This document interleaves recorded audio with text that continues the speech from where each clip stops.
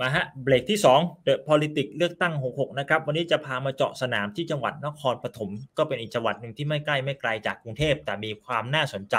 ทุกคนรู้กันดีนครปฐมเป็นจังหวัดที่มีบ้านใหญ่นะครับเพราะฉะนั้นก็จับตาว่าการเลือกตั้งมันจะออกมาเป็นอย่างไร การแข่งขันจะดูเดือดมากน้อยขนาดไหน โดยเฉพาะหลังจากที่ผลในปี 62 เนี่ยก็เกินความคาดหมายของใครหลายคนเหมือนกัน พาย้อนกลับไปดูฮะการเลือกตั้งจังหวัดนครปฐม ในครั้งล่าสุดก็คือปี 2562 เนี่ยมีทั้งหมด 5 เขตเลือกตั้ง สส 5 คนนะครับ โดยในครั้งนั้นเนี่ยโอ้โหเรียกว่าเสียงแตกพอสมควร ประชาธิปัตย์ได้มา 1 คน พลังประชารัฐได้มา 1 คน ชาติไทยพัฒนา 1 คน ส่วนอนาคตใหม่ได้มาถึง 2 คน ก็เรียกว่าหลายคนแบบโหนี่เรียกว่าฝ่าด่านบ้านใหญ่มาเลยนะฮะฝ่าด่านบ้านใหญ่มาเลย แต่ว่าท้ายที่สุดตอนตอนช่วงหลังมาเนี่ยทางคุณจุมพิตานะครับ ในเขต 5 เนี่ยก็ต้องลาออกไปนะนี่คือโฉมหน้านะครับของการเลือกตั้งอันนี้ชุดแรกก่อนในการเลือกตั้งปี 62 เขต 1 ก็เป็นพันโทสินทบแก้พิจิตประชาธิปัตย์เขต 2 คุณพานุวัฒน์สะสมทรัพย์ ชาติไทยพัฒนานะฮะเขต 3 คุณสุทธวันสุบรรณอยุธยาอนาคตใหม่ เขต 4 คุณปฐมพงษ์ศูนย์จันทร์พลังประชารัฐ แล้วก็เขต 5 คุณจุมพิตาจันทรขจรจากอนาคตใหม่ ทีนี้หลังเลือกตั้งไม่นานคุณจุมพิตาก็ลาออกด้วยเรื่องของเหตุผลทางสุขภาพนะครับทำให้ต้องมีการจัดการเลือกตั้งซ่อมเกิดขึ้นในเขต 5 ท้ายที่สุดในเขต 5 เนี่ยหลังการเลือกตั้งซ่อมนะครับ ทางคุณพเดิมชัยสะสมทรัพย์จากชาติไทยพัฒนาก็ชนะไปทำให้โฉมหน้าสสทั้ง 5 คนของนครปฐมนะครับ ก็เป็นรูปแบบอย่างนี้คือมีการเปลี่ยนแปลงในเขตที่5นะครับอ่านี่ก็เป็นสิ่งที่ปรากฏมา ทีนี้ในการเลือกตั้งปี 66 เนี่ยนครปฐมมีเพิ่มอีกหนึ่งเขตเลือกตั้ง รวมเป็นทั้งหมด 6 เขตเลือกตั้งสส6คน ซึ่งรอบนี้นะครับก็มีการจับตากันว่านครปฐมเนี่ยอาจจะเป็นศึกระหว่างบ้านใหญ่กับบ้านใหญ่นะระหว่างบ้านใหญ่แก้วพิจิตที่รอบนี้เนี่ยย้ายสังกัดจากประชาธิปัตย์ไปอยู่กับรวมไทยสร้างชาติ จะเจอกันกับบ้านใหญ่สะสมทรัพย์ ซึ่งรอบนี้เขามีแผลในใจอยู่จากปี 62นะฮะที่ เรียกว่าตอนแรกได้มาคนเดียวด้วยซ้ำก็หวังจะแก้มือ โดยรอบนี้เนี่ยบ้านใหญ่สะสมทรัพย์เขามีฐานกำลังสำคัญ คือฐานนายกอบจนครปฐมที่มีคุณจิรวัตรสะสมทรัพย์ หรือว่าเสียหนึ่งนะครับลูกชายของคุณชายาสะสมทรัพย์ เรียกว่าเป็นฐานสำคัญเลย พร้อมมีสมาชิก 27 เขตจาก 30 เขตที่เป็นฐานกำลังสำคัญในอบจนครปฐมนะครับแต่ว่าอย่างไรก็ตามก็ประมาทก้าวไกลไม่ได้เพ ราะว่าก้าวไกลในนามอนาคตใหม่รอบที่แล้วได้มาถึง 2 เขต เพราะฉะนั้นก็น่าสนใจว่ารอบนี้จะฝ่าด่านมาได้เหมือนเดิมในปี 62 หรือเปล่า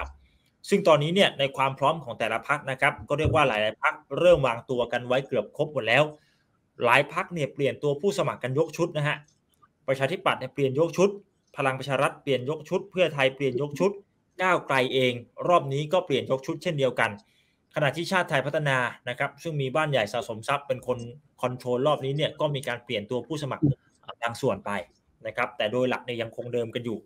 อันนี้คือภาพรวมของนครปฐมในการเลือกตั้งปี 66นะที่ก็เรียกว่าจัดเต็มกันทุกภาคเหมือนกันขณะที่เขตที่ต้องจับตานะครับเขตที่ต้องจับตารอบนี้เนี่ยหลายคนโฟกัสไปที่เขตหนึ่งนครปฐมเขตหนึ่งนครปฐมผู้สื่อข่าวเราก็ ส่งมาบอกให้จับตาเขตนี้อยู่เหมือนกันนะครับ เขตหนึ่งนครปฐมเนี่ยเป็นฐานที่มั่นของตระกูลแก้วพิจิตมายาวนานหลายสมัยนะโดยในการเลือกตั้งปี 62 เนี่ยพันโทสินทบ แก้วพิจิตก็ชนะไปจากประชาธิปัตย์แต่เป็นชัยชนะที่มันก็มีการประท้วงกันไปกันมาอยู่นานเหมือนกัน กว่าจะได้นะความชัดเจนนะครับ คือมันเป็นการประท้วงกันเรื่องการยื่นนับคะแนนใหม่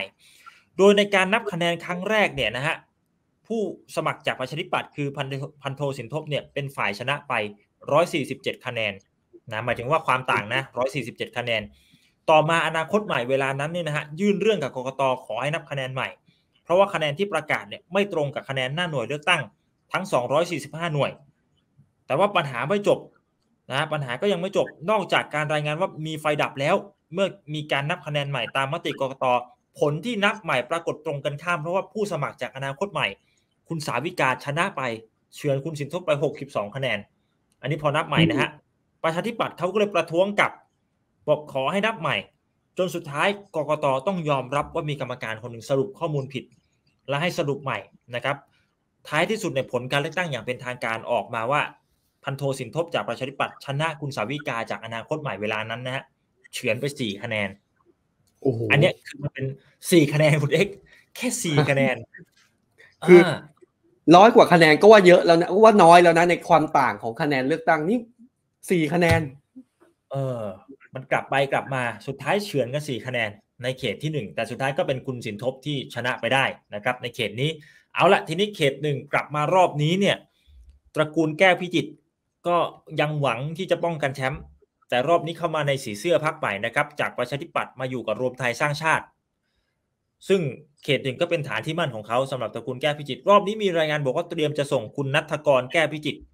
ซึ่งเป็นหลานชายนะครับของเสแก้วก็คือคุณสินธพ ขณะที่บ้านใหญ่สะสมทรัพย์รอบนี้นะฮะเขาส่งสอจอฟิล์ม สุภโชคศรีสุขจร อายุ 28 ปีคุณเอ็กโอ้28ปี นี่ฮะ หน้าตาหล่อเหลาเลยนะฮะสอจอฟิล์ม ลงในนามชาติไทยพัฒนา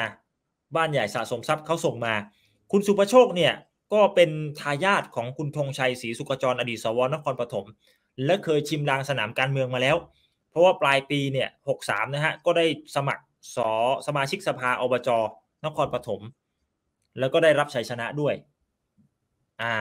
รอบนี้ก็กระโดดมาสนามใหญ่มาลงในเขตหนึ่งภายใต้การหนุนของบ้านใหญ่สะสมทรัพย์นะครับ ก็น่าสนใจ ขณะที่พลังประชารัฐก็ได้ตัวใหญ่ นะพลังประชารัฐเนี่ยเขาส่งคุณรัฐกรเจนกิจนรงค์หรือชาวบ้านเขาเรียกอดีตสสเบ้ซึ่งเป็นอดีตสสนครปฐมนะครับแต่ตอนนั้นเป็นเขตสองนะมาลงสู้ ขณะที่ก้าวไกลนะฮะก้าวไกลเนี่ยเขาส่งคุณจารุพันธ์เพชรดี บอกเป็นลูกหลานชาวนครปฐมและคุณพ่อเนี่ยก็เคยอยู่ในการเมืองท้องถิ่นมาก่อน ก็มาลงสู้ศึกในครั้งนี้ในนามก้าวไกล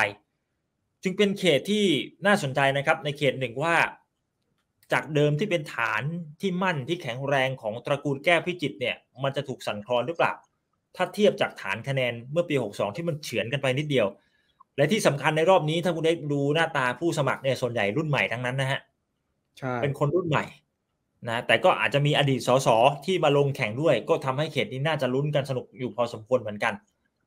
เออแต่ด้านหนึ่งก็เป็นภาพที่ดีที่มีเป็นการแข่งขันกันระหว่างคนรุ่นใหม่นี่นะฮะก็น่าจับตาในเขตหนึ่งนครปฐม ภาพรวมนครปฐมรอบนี้ก็น่าสนใจครับ จากการเลือกตั้งปี 62 ที่ออกมา ซึ่งมันก็เกินความคาดหมายไปอยู่พอสมควรทำให้รอบนี้เนี่ยบ้านใหญ่สะสมทรัพย์เองเขาก็หวังจะแก้มือ โดยมีฐานการเมืองสำคัญจากสนามอบจเป็นแรงหนุน ขนาดเดียวกันบ้านใหญ่แก้พิจิตก็มีเขตมีฐานที่มั่นที่มีฐานคะแนนชนิดไว้ใจได้นะฮะจึงน่าจะเป็นการขับเคี่ยวที่เข้มข้นสนุกสูสีระหว่าง 2 บ้านใหญ่ แต่ก็ประมาทไม่ได้ ทั้งพลังประชารัฐทั้งก้าวไกล โดยเฉพาะก้าวไกล รอบที่แล้วในนามอนาคตใหม่เขาได้มาสองที่นั่ง ก็ต้องมีอะไรบางอย่างที่เป็นปัจจัยสำคัญที่ทำให้เขาเข้ามาได้ เพราะฉะนั้นรอบนี้ก็น่าสนใจว่าจะสอดแทรกได้หรือเปล่า แต่เขาบอกว่า ปัจจัยสำคัญที่ต้องจับตาสำหรับสำหรับนครปฐมรอบนี้คือการแบ่งเขตของกกตนี่แหละฮะว่ามันจะส่งผลขนาดไหน โดยเฉพาะเขตใหม่ที่มีเพิ่มมาหนึ่งเขตเนี่ยจะขีดเส้นกันอย่างไร มันมีผลต้องจับตาเหมือนกันนะครับ โดยทั้งนี้ในการประเมินนะครับในการประเมินของผู้สื่อข่าวของเรารายนี้คอนปฐมเนี่ยคาดการณ์นะอันนี้เป็นการคาดการณ์นะอาจจะไม่ตรงตามนี้ก็ได้ แต่มีการประเมินกันว่าท้ายที่สุดเนี่ยกลุ่มบ้านใหญ่สะสมทรัพย์ ในนามชาติไทยพัฒนาเนี่ยอาจจะได้เข้ามาสัก 3-4 เขตนะส่วนพลังประชารัฐอาจจะได้ 1-2 เขต รวมไทยสร้างชาตินะครับซึ่งได้บ้านใหญ่แก้พิจิตไปเนี่ยอาจจะได้ 1-2 เขต และภูมิใจไทยอาจจะได้หนึ่งเขต อันนี้คือที่เขาประเมินกันในนครปฐม แต่ทั้งนี้ทั้งนั้นผลที่ประเมินออกมาอาจจะคาดเคลื่อนก็ได้ ต้องรอติดตาม เพราะว่ามันมีหลายปัจจัยนะแต่ก็เป็นอีกสนามหนึ่งที่น่าจะสนุกฮะในนะสำหรับนครปฐมนะแล้วก็ยังคงเป็นการเมืองที่ยังคงมีบ้านใหญ่มาเกี่ยวข้องอยู่ ก็ต้องดูว่ารอบนี้ บ้านใหญ่จะปักหลักอยู่ได้ไหมหรือจะถูกสั่นคลอน โอ้แค่คิดก็มันแล้วฮะอะรอติดตาม นะรอติดตามนะครับ ในนครปฐมครับ อืมครับ ดูคลิปจบแล้วอย่าลืมกดติดตาม และสมัครสมาชิก YouTube มติชนทีวีเพียงแค่สแกน QR Code ได้เลยครับ